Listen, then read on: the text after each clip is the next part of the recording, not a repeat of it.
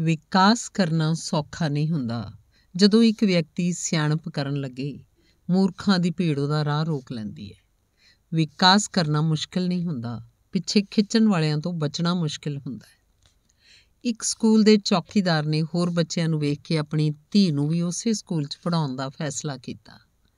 School ਦੇ ਹਰੇਕ ਕਰਮਚਾਰੀ ਨੂੰ ਆਪਣੇ ਦੋ ਬੱਚੇ ਸਕੂਲ 'ਚ ਬਿਨਾਂ ਕਿਸੇ ਖਰਚੇ ਦੇ ਪੜਾਉਣ ਦੀ ਆਗਿਆ ਸੀ।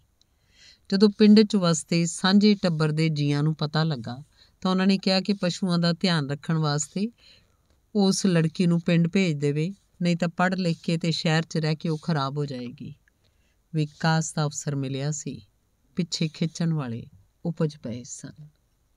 ਧੰਨਵਾਦ।